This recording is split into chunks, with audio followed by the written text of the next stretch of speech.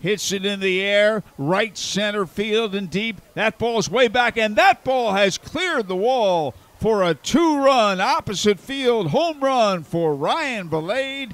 And the Indians with three runs in, and they now lead it five to one. Towering drive over the wall in right center.